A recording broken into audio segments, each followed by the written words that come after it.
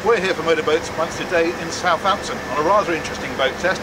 We're testing the brand new Broom 430. But what makes this particularly interesting is we're not just going out into the Solent as we normally do, we're taking this one to Jersey for the Jersey Boat Show. We're just fueling up now, in about 10 minutes we'll be on our way. Well, we're all fueled up now, we've cleared the Itchen River, the sea's looking flat, the weather's brightening up, and our next stop is Jersey.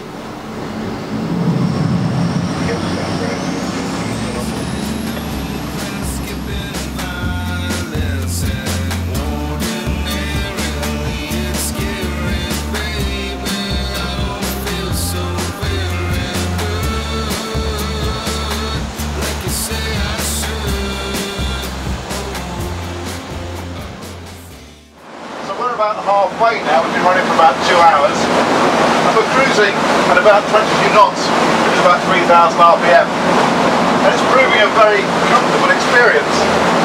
The thing that works so well on this boat is the fact that because Broom have put the helm on the aft deck rather than a separate flybridge, you've got a great compromise situation. We're not inside the boat, we're very much outside, we've got great visibility, a good vantage point.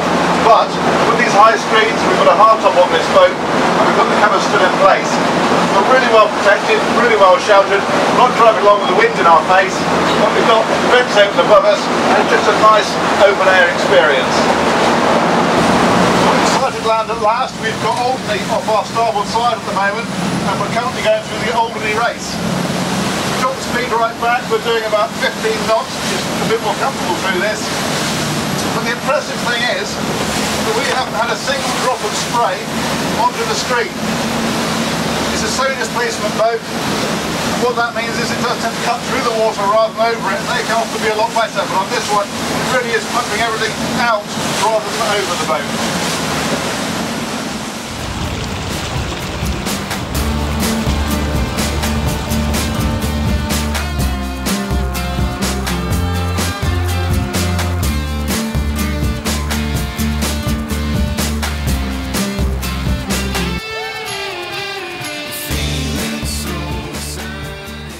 We're safely tied up in St Helier and my next job is to jump on the plane and fly back to the UK. But before I do that, I will give you a quick run around the rest of this boat.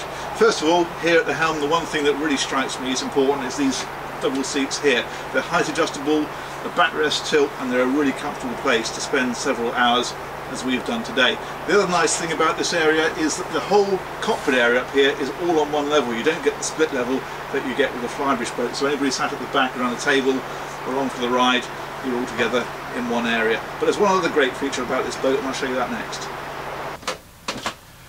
Now we featured this boat in our Dusseldorf report so I'll just give a very quick roundup of the interior. Basically it's classic Broom but brought bang up to date.